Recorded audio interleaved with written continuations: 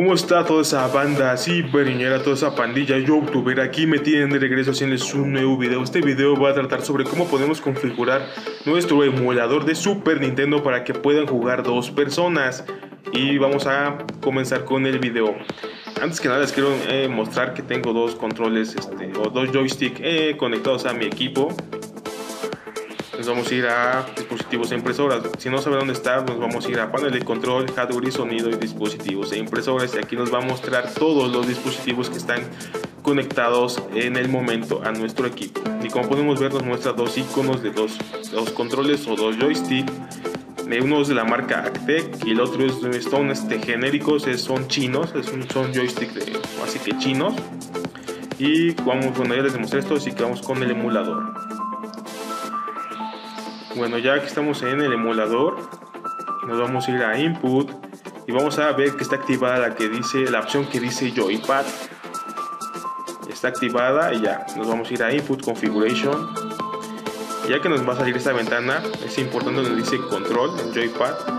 Vamos a poner, bueno, obviamente sale 1.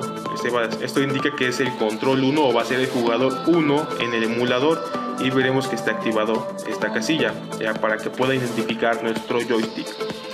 Y ya que tenemos esto vamos a comenzar a configurar cuáles van a ser eh, las acciones del control 1 esto es hacia arriba izquierda abajo derecha y así.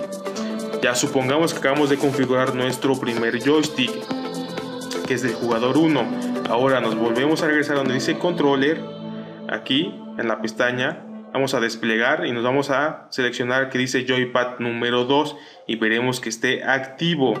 Activamos esta casilla y vamos a configurar cuál va a ser el joystick o el control 2 para el emulador cuál va a ser el jugador 2 comenzamos. Izquierda abajo y derecha. Ya acabamos de configurar nuestro este joystick número 2 eh, para que puedan ver este así que no tengan ninguna duda, algún problema.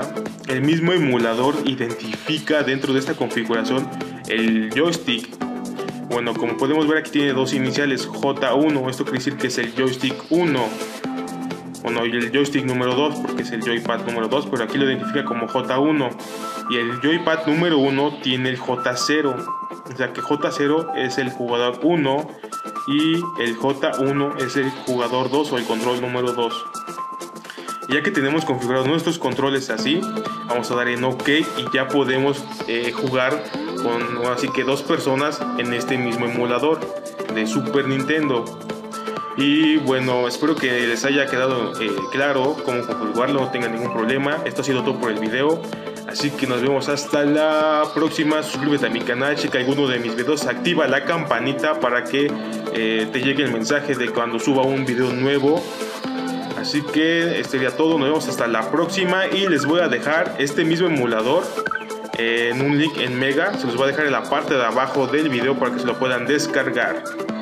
Así que nos vemos.